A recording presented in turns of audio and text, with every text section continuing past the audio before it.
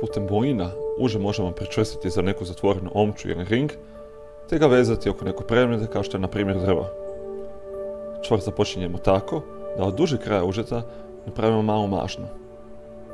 Kraći kraj užeta zatim provučemo kroz omču za koje uže želimo pričvrstiti, nakon čega ga provlačimo kroz prethodnu kreiranu mašnu. Povlačenjem dužeg kraja užeta mašnu smanjujemo sve dotle dok je ne izvučemo na drugu stranu. Čvor na kraju pritegnemo. Polin moramo uvijek zaštititi od razvezivanja putem osiguravajućeg čvora.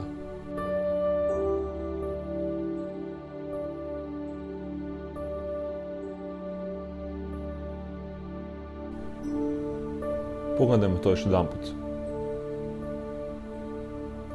Od dužeg kraja užete radimo mašnu.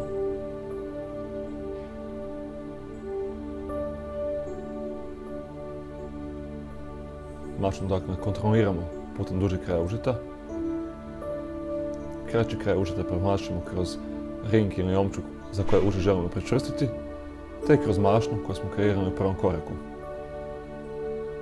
Povlačenjem dužeg kraja užeta mašnu smanjujemo, sve dok ona ne preskoči na drugu stranu. Čvor zategnemo.